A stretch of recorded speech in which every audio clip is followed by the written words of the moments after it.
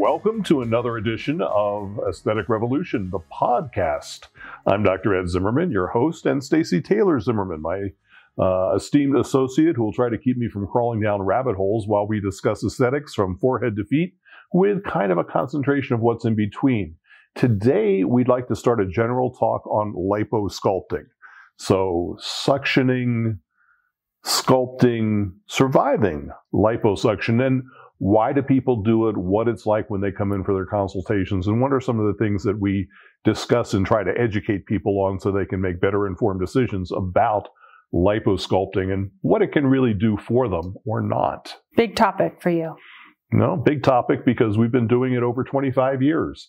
You know, I started doing liposculpting not just with clay, but with humans back in the late 90s. And things have progressed a long time. But historically, before then, a lot of people died when they tried to go, you know, core fat out of out of overly fat areas and there was a lot of bleeding and you know it was not the very safe relatively benign procedure that we are able to offer in the outpatient setting today now we do all of our surgeries in a nationally accredited outpatient surgical facility.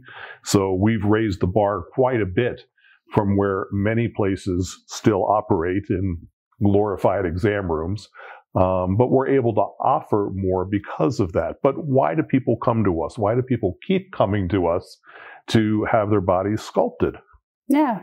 Well, you've been doing it for so long. And I think some people don't realize that your practice was Las Vegas Laser and Lipo. And when you rebranded under and changed to Aesthetic Revolution Las Vegas, that was to encompass more of what you do because you don't just do lipo and laser.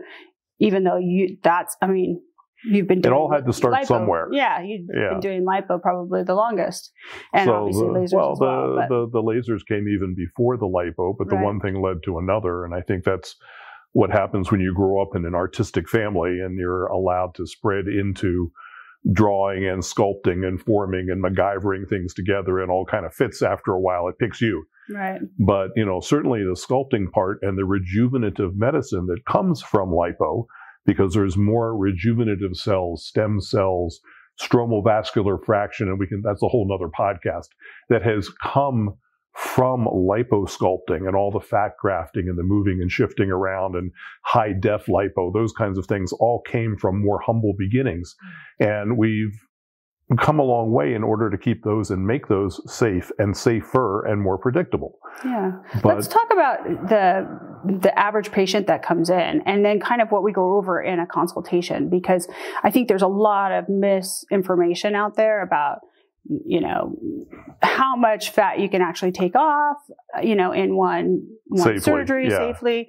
Um, yeah what happens to fat when you gain weight after you've had lipo? There's so many things that i think is a uh, people aren't aware of before they come in for a consultation. So sure. we're explaining that. So so liposculpting is based in science.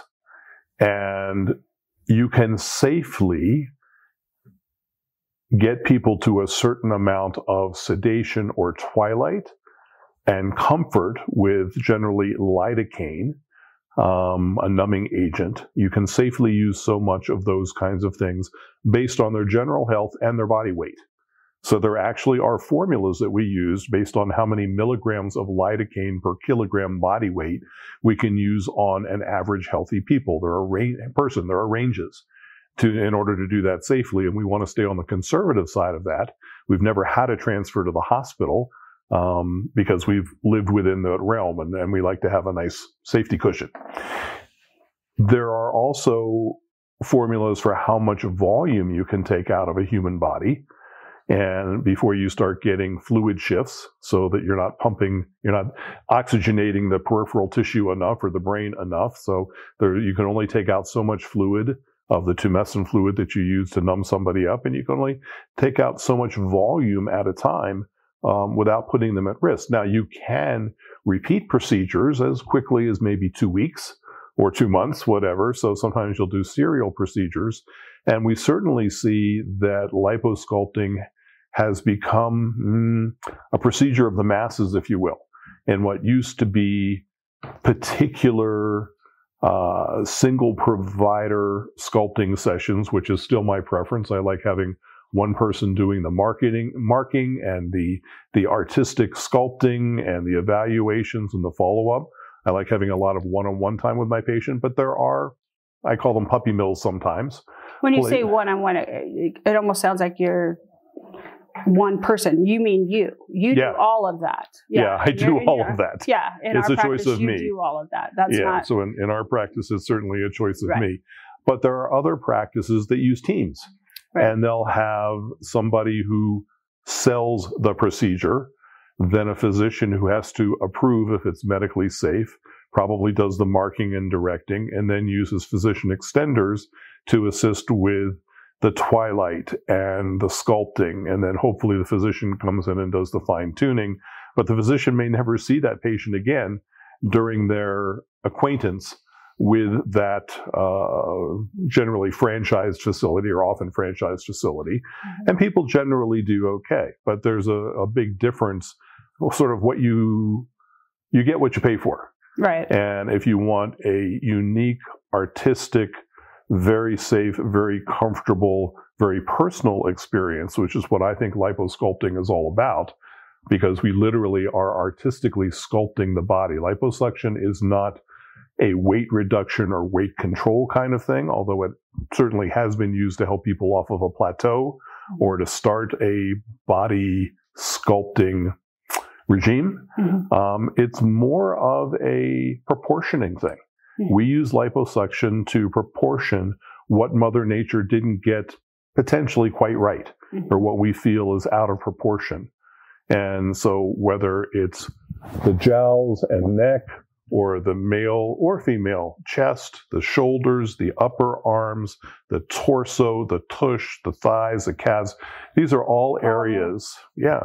Yeah, I mean, with with because the the arm is connected to the armpit, is connected to the side of the chest or breast, is connected to the back rolls, is connected to the waist, is connected to the hips, and it, it's challenging when someone comes in and they have in mind, well, I want my upper arms done. Well, the upper arms are great, but they need to be looked at in proportion to the lower arm, or you can end up Popeyeing somebody. You make their upper arms too thin Right. and it's connected to the armpit. So if all those things don't blend together harmoniously, something looks done. Right. And people come to us because it looks like they had a great weekend, hit the genetic jackpot, and they just naturally looked like they had the right proportions. And then you've got to think about is there going to be enough skin contraction or is the skin flaccid? We want to figure out where we can hide our tiny insertion sites so they're within a skin fold or inside a little pigmented mole or where you've got to transition from a pigmented areola to a different colored tissue um, along the lines of tension. And we want to artfully hide these insertion sites that we're going to use to slide our cannula under the tissue so that we can come from many different insertion sites. Because if you come from just one insertion site, as your cannula slides and suctions fat, much like if you were shooting pool in a snowdrift, you would shoot pool from one corner pocket and you would leave a groove if you only went back and forth from that one pocket. Mhm. So now if you go to a 90 degree or so angle different, now your grooves cancel out the first grooves and back and forth using progressively smaller cannulas to blend the tissue and get a lovely transition of contour in a body. But those are things that you think about both from the practical point of view of is this safe? Can I do this without sloughing tissue? Can I do this without losing too much blood or changing um, fluid shifts in the body and things like that? But those are things your physician needs to be concerned about. Let's talk about why people do liposuction. And, you know, where over 50% of Americans at least have some extra weight that uh, the universe didn't necessarily gift them. They just put it on by being bellying up to the buffet one too many times. Um, and so a lot of us have that. And, you know, it can be a mixed blessing. It certainly contains lots of stem cells. That's a whole nother podcast, as we talked about. But, you know, if we want to artfully change the proportions of an area, we have to recognize that we have a hypothalamic set point that our body wants to maintain in terms of weight, in terms of the food that we eat and the exercise calories that we burn off. And just removing fat doesn't necessarily change that hypothalamic set point enough to make us maintain that weight. We can put the weight back on. We can take the fat cells permanently out of one area. And if you don't change the environment and the behavior, you can accumulate the calories again somewhere else. And it may be someplace that I can't get them. It may be instead of above the muscle on the belly, it may be under the muscle of the belly. And now we have a bigger belly, but I can't liposuction it. Mm-hmm. We've now deposited fat around the organs, which is medically more more um, dangerous um, than having fat above the skin. Right. So there's there's lots of things to consider in liposculpting. But in the ideal healthy person that was just gifted some fat in an area between the above the muscle and below the skin that their parents gifted them and they don't want to have it anymore and they're realistic and they're not hugely above their ideal body mass index so we can make a difference for somebody long term, then, you know, we can talk about what's it connected to. Because if it's a belly, is it connected to the chest or the breasts above or the pubic area or around the back? You know, when I first started doing lipo, we routinely did what they now call 360 lipo. Well, it never occurred to us to do one little area. Everything was part of the structure. Everything so was sculpted. 360 lipo is just a term that's come about more recently in marketing yep. as a marketing term. You've never not done 360 lipo. When you do lipo, it's a 360 version of it. So this is just a marketing blend. term. Yeah. If anybody's just doing a spot, they need to beware because Mm-hmm. just spotting an area would only be appropriate if you're taking it out for stem cells or you're taking it out to maybe a little bit to put in a tush or something like that. Normally, yep. if you're doing a full abdomen and upper breast or what have you, it's a 360. You're looking at the body. You're looking at the blended areas. You yeah. wouldn't fill one cheek. Right. You wouldn't do laser hair removal on part of one leg. Right. You know, you're you're going to treat the paired areas. And I think that part of this has come about because of the larger franchised lipo boxes have tried to keep things safe but keep patients relatively comfortable. And so they're only able to apply enough tumescent fluid safely and enough oral sedation because they don't generally use IV or IM sedation and put people on full monitors and still have them move around the way we do.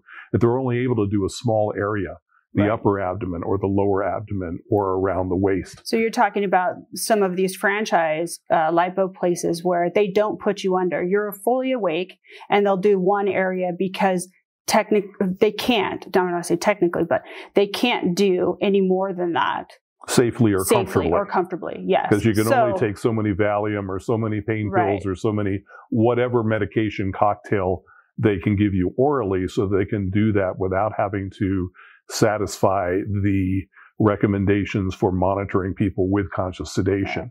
So you can have twilight anesthesia where you're still able to respond to command and to sit up and to stand up and to flex and to move and to really see how your sculpting is doing. Because we mark all these people standing up. Right. We do it in a mirror so they can see what we're doing and so we can all agree we're all on the same page. Then we can medicate them. Then we can fill them with a very dilute solution of anesthesia. We call it tumescent anesthesia. To tumescent, which is different fill. than what these other places do. These other places are doing some. They're not doing IM, which is an injection. They're only intramuscular. Oral. Yeah, they're, they're just doing, doing, whatever oral, oral pills right. you can take. Right. Um, and if you take more than what you would routinely take as an outpatient for relaxation or for pain, that is considered conscious sedation. And for that, you truly require an accredited facility to do that safely and to do that within the statutes. So buyer beware. Yeah. Make sure you check out the facility that you're going to and, and their experience you know, and stuff. Right. Yeah. So that's that's all important. Um, you know, certainly it's when I was important. when I was training early on, and I was one of the first 25 docs in the country to train with Alfredo Hoyos down in Colombia for high def body sculpting. And, you know, we certainly had at, at that point, we were using full anesthesia. And, you know, the patients were marked standing and then they were put to sleep by the anesthesiologist. And we all worked on the patient in order to sculpt the deltoids, the biceps, the triceps, the male chest, the abs, the anterior and posterior thighs. And, you know, then we would process the fat and very carefully put fat in. I mean, there are many, many steps to high def lipo. It's doing like doing traditional liposculpting three times in the same place. Which is another thing that seems to be a term that's more recent than 25 years ago. You've been doing the high def lipo sure. since then, yep. but that term has been thrown around more in the last, you know. Well, it's sexy, right? And not everybody right. is truly a candidate for it because if they have any laxity to the skin, you've either got to use energy to shrink wrap the skin so it shows the cuts and the undulations that you've been able to sculpt, or you've got to pull the skin surgically and cut out the extra so that the skin actually shows what you're doing underneath of it. Right. So it's it's just like a sheet that drapes over whatever pillows, cats, whatever is underneath the bed sheets mm-hmm. that shows up as a uh, transition or a lump or a negative space, a shadow. Those are all very important. And we point out those things to people during their consultations. We get them into their underwear or some disposable underwear and a comfortable robe, and we go in front of the mirror and go, let's look at what God gifted you and what you have in mind and see if the two jibe. Mm-hmm. You know, if we can do this and we can do this safely, or we can lay out a series of treatments where we can do this for you. So, you know, a lot of what we talk about when we do a liposuction consultation is first go into your history. Do you have any medical history? Do you have any contraindications? Um, blood clotting or blood thinning or cardiac irregularities because lidocaine was used in the CCU to control blood rhythms, to control, sorry, heart rhythms long before it was, was, uh, used in these kind of quantities for numbing people. And it wasn't until, mm, golly, the late 80s, maybe 90s, that debatably, depending on, on who you want to believe, but I'll say Jeff Klein is a, a very bright dermatologist uh, in California, an epidemiologist, did a series of studies where he determined what concentrations of dilute lidocaine with a little bit of epinephrine, which is a vasoconstrictor, adrenaline is epinephrine. And if you put a small concentration, one in 500,000, one in 1 million, one in 1.5 million parts of adrenaline, it'll keep the very low concentration of lidocaine in an area that you're working with. And fat happens to suck up lidocaine.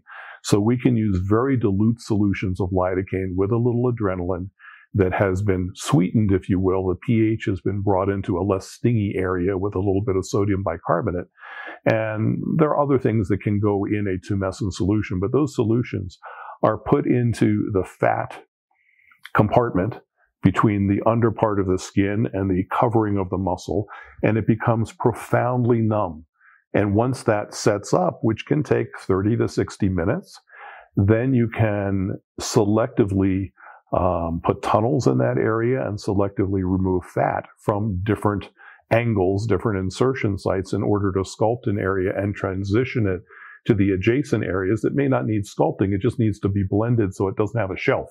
It so doesn't you, stop. So you were talking about the, in the consultation uh, any uh, contraindications that they might have yep. in regards to lidocaine. Yep. So tell tell me more about any other contraindications that you're looking for? Well, again, we we we make sure that they're not taking a lot of blood thinners. So mm-hmm. ginkgo, garlic, ginger, aspirin, Advil, CBD, and THC. They're all very potent blood thinners, mm-hmm. and we want people off of that for one to two weeks before we would consider doing an elective procedure like this. Mm-hmm. We want to be able to uh, measure the patient's and take digital pictures and such. But after we do the procedure, they're going to be in a compression garment or garments.